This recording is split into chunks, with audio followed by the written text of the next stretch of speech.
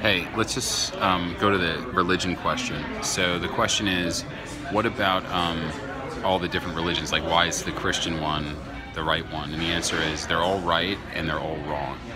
So, and even atheists too. It doesn't matter.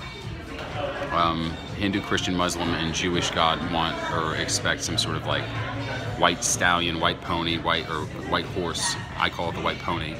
Uh, Messiah to come and end things but it creates peace on earth. okay? So they all agree there.